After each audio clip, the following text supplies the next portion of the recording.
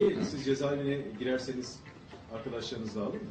Ben 10 ay e, hapishanede kaldım. Sonra da bir o kadar da akıl hastanesinde kaldım. Beni sevenlerin en çok geliştiği dönem o dönem olmuştur. Yani ben çok küçük bir arkadaş grubum vardı. Beni sevenler akıl almaz şekilde gelişmişti o dönem. Hay bizim çocuklar, arkadaşlarım ben bayağı iyi gittiler. Öyle bir konu olmaz. Yani 30 yıl olsa aslan gibi gider yatarlar. Öyle bir şey olmaz. Çünkü yatıran Allah'tır. Kader değişmez.